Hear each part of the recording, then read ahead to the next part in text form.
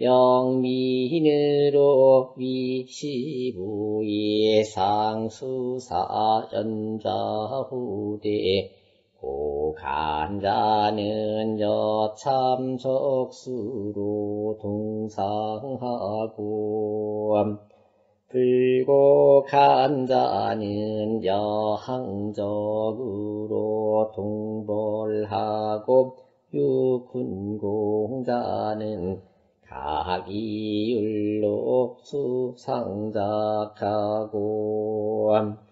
위사투자는 각이 경중으로 피형하고 대소육력하야 본업 경직하야 지속백타자는 복기신하고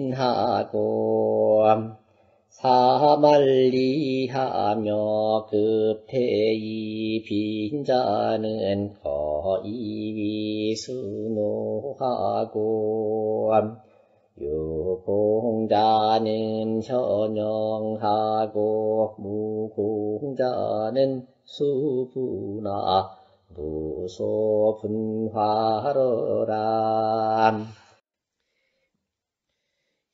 그리고서는 영민으로 위, 시부의, 상, 수사, 연좌, 호대. 그래서 백성들로 하여금 15, 15라는 것은 거기 잘 나와 있는데요. 다섯 집이 보가 되고, 열 집을 서로 연결해 버렸어요. 그래가지고 서로가 이렇게 그 옆에 집이 무슨 일이 일어났는지를 전부 다 서로 보고하고 하는 거예요.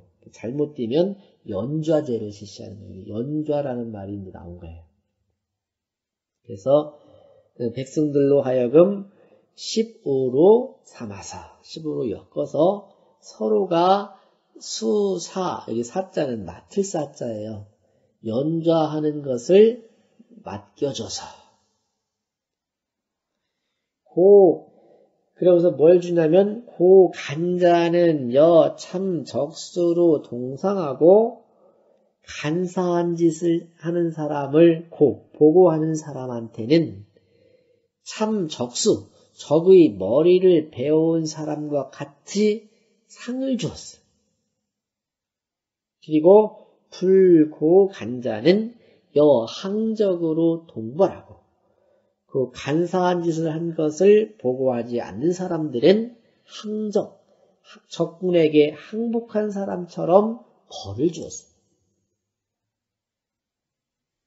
그리고 유 군공자는 각 이율로 수 상작하고 군대에 가서 봉인 사람은 각각 그 비율로서 수 상작 높은 벼슬을 주었고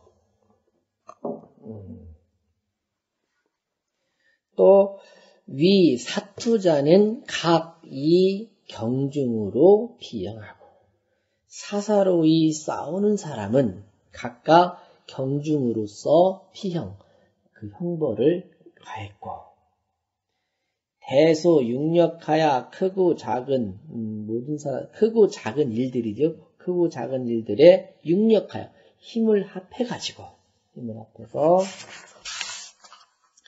본업 경직하여 치 속백 다자는 복기신하고 본업 경직 이 본업이라는 말은 농사거든요.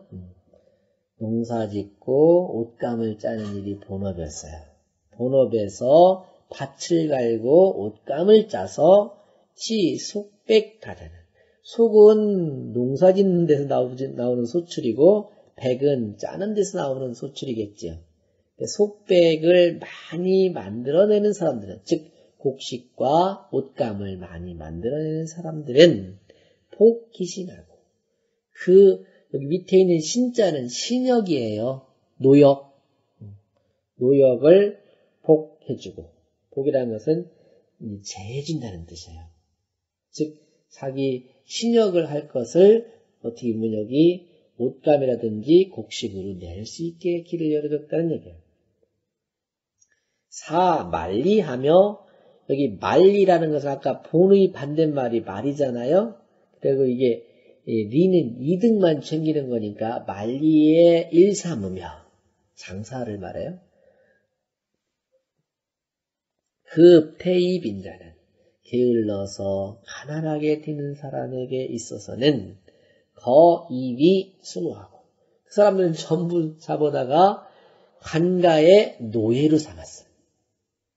한가는 노예로 삼고 유공자는 현영하고 공이 있는 사람들은 현달과 영화를 누리게 해주고 무공자는 수부나 공로가 없는 사람은 비록 당시에는 부유했다 하더라도 무소 분하리라.